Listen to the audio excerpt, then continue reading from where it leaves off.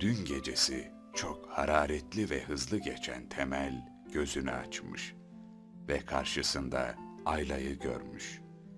Ayla, arkadaşının liseye giden kız kardeşiymiş. Temel, ne oldu, neredeyim, ne yapıyorum ben derken, Ayla soda limon hazırlayıp Temel'e getirmiş. Altında daracık, minicik bir şort. Üstünde tülden bir gömlek varmış. Ve içine hiçbir şey giymemiş. Temel'e sodayı verirken, bizimkiler alışveriş merkezine gitti. Akşamdan önce dönmezler, demiş. Sodayı vermek için eğildiğinde, soda ikisinin de üzerine dökülmüş.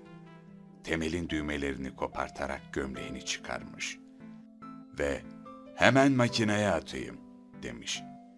Temel artık çıldırmış, gözü kararmış ve hiçbir şey görmüyormuş. Ayla tam arkasını dönecekken kolundan tutup kendine çekmiş. Ayla'nın saçları önüne düşmüş ve Ayla dudaklarını yalamaya başlamış. Temel'in artık dayanacak gücü kalmamış. İyice gerilmiş ve Ayla'ya yumruğu çakmış ve şöyle demiş.